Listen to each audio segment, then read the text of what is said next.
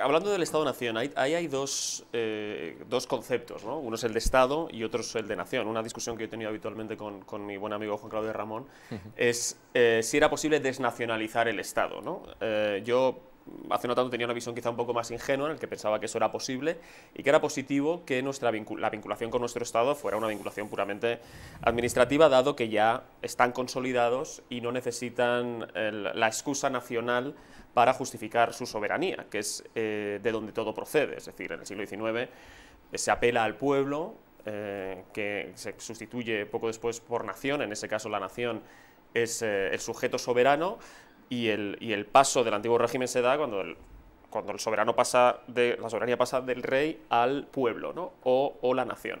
Claro, para justificar esa soberanía uno tenía que apelar a determinadas cosas, a una unión cultural, a un idioma, a unos rasgos étnicos, eh, lingüísticos, todo eh, absolutamente inventado, ¿no? Por supuesto, eh, en todos los países, no solamente en España, ¿no? España no es el único país que no existía, entre, entre comillas, ¿no? es sabido que en el momento de la unificación italiana solamente el 5% de los, de los habitantes de la península italiana hablaban lo que hoy conocemos como italiano, ¿no? Em, y eso es, y de ahí por hacer la frase, ya tenemos Italia, ya hemos creado Italia, tenemos que crear italianos. ¿no?